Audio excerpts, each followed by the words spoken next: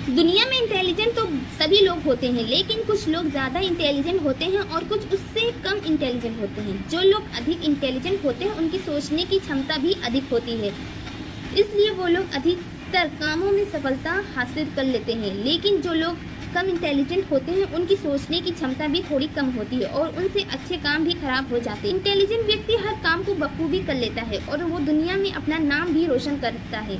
Intelligent व्यक्ति smart person की एक अलग ही पहचान होती है। तो चलिए इस वीडियो को पूरा देखिएगा स्कीप मत कर करिएगा। स्कीप करेंगे तो आपको इस वीडियो की पूरे टिप्स नहीं मालूम पड़ेगी। तो चलिए शुरू करते हैं इस वीडियो को।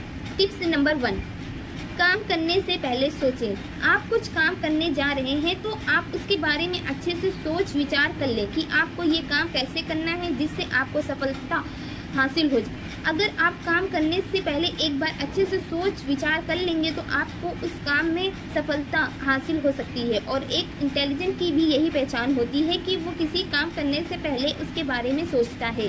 टिप्स नंबर टू हर मुश्किल काम को करने की कोशिश करें। बहुत से लोग ऐसे होते हैं जो किसी मुश्किल काम को देखकर ही उसे ना कर पाने की हार मान लेते हैं। लेकिन ऐसा बिल्कुल भी नहीं करना चाहिए, क्योंकि आप पहले से हार मान लेते हैं तो आप कभी भी किसी मुश्किल काम को नहीं कर पाएँगे।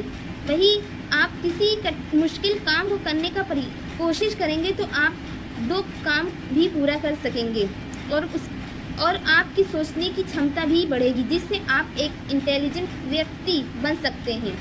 टिप्स नंबर थ्री आप हमेशा कुछ नया और अलग करने के बारे में सोचें और कुछ अलग करके दिखाएँ। इसमें आपका आईक्यू तो बढ़े, साथ ही में लोग काम करने की तारीफ़ भी करेंगे और आपको एक इंटेलिजेंट व्यक्ति करेंगे कहेंगे, जिससे आपका दुनिया में काफ़ी नाम होगा।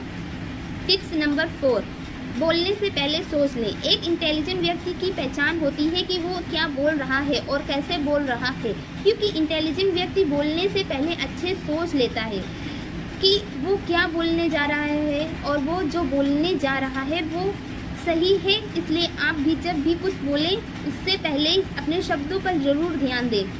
टिप्स नंबर फाइव आपको एक इंटेलिजेंट व्यक्ति बनना है तो आपको बाहर निकल कर नए नए लोगों से जान पहचान बनानी चाहिए। लेकिन आप ध्यान रखें कि आप उन्हीं लोगों से जान पहचान बनाएँ जो इंटेलिजेंट हो। उनका बातचीत करने का ढंग अच्छा हो। क्योंकि आप किसी इंटेलिजेंट व्यक्ति से मिलेंगे या फिर अन, कई लोगों से मिलेंगे तो आप उनसे बात करेंगे और कुछ नए जानेंगे। आपको कोई इंटेलिजेंट व्यक्ति मिल जाता है और आप उसकी बातों अपनाने की कोशिश करते हैं तो आप उसकी तरह एक इंटेलिजेंट व्यक्ति बन सकते हैं, क्योंकि आप भी उसके जैसा बनने का कोशिश करेंगे। टिप्स नंबर सिक्स एक इंटेलिजेंट व्यक्ति बनने के लिए आपको अच्छी अच्छी और अलग अलग किताबें पढ़नी चाहिए, क्योंकि ये किताबें पढ़ने से आपका दिमाग काफ़ी तेज होगा और आपकी काफ़ी चीज़ों का ज्ञान भी हो जाएगा, जिससे आप लोगों को भी अच्छा ज्ञान मिल, मिलेगा। और जीवन में काफ़ी ऊंचाई तक पहुँच सकते हैं। एक इंटेलिजेंट की पहचान उसके ज्ञान से होती है, इसलिए ज्ञान लेने के लिए किताबें पढ़ना बहुत ज़रूरी होता है।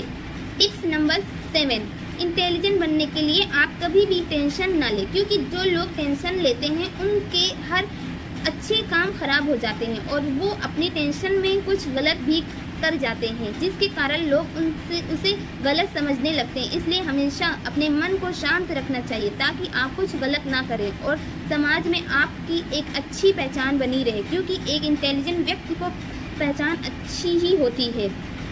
आपको ये फुल जानकारी इंटेलिजेंट की मिल गई है तो आप इस वीडियो को पूरे तहे दिल से लाइक शेयर एंड सब्सक्राइब ज़रूर करना। और ये वीडियो अच्छी लगे तो प्लीज़ ज़रूर करिएगा और के लिए बाय बाय मिलते हैं अगले नेक्स्ट वीडियो में।